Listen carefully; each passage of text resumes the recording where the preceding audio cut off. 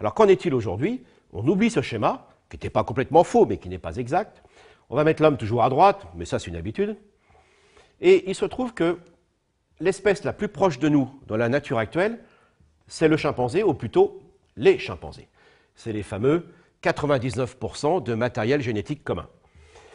Après, nous avons le gorille, et plus loin, l'orang-outan. Ça veut dire quoi ça? Ça veut dire tout simplement que nous avons des relations de parenté. C'est Darwin qui avait compris ça, que plus deux espèces se rencontrent, plus elles sont proches comme des frères et sœurs ou des cousins. Alors, qui est le plus proche de moi dans la nature actuelle? C'est mon frère ou ma sœur. Pour quelle raison? En raison des caractères que nous avons hérités de nos parents. Ensuite, ce sont mes cousins, en raison de caractères hérités cette fois-ci des grands-parents.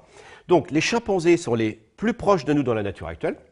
Donc, nous avons un parent exclusif qu'on appelle le dernier ancêtre commun. Et à partir de là, ça change complètement notre façon de reconstituer notre histoire évolutive, puisque en connaissant les chimpanzés et en connaissant l'homme, tout ce que nous partageons, eh nous considérons qu'il vient de ce dernier ancêtre commun.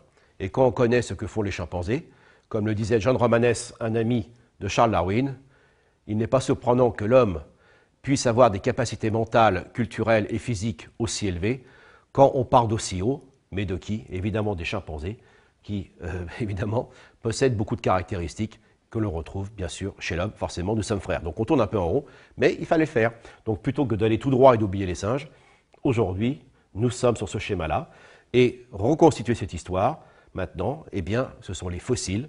Et tout le travail des paléanthropologues va consister à retrouver les fossiles de la lignée humaine, les fossiles sur la lignée des chimpanzés, ceux-là, on ne les a pas encore, puis les fossiles qui sont avant, ceux-là aussi nous manquent beaucoup.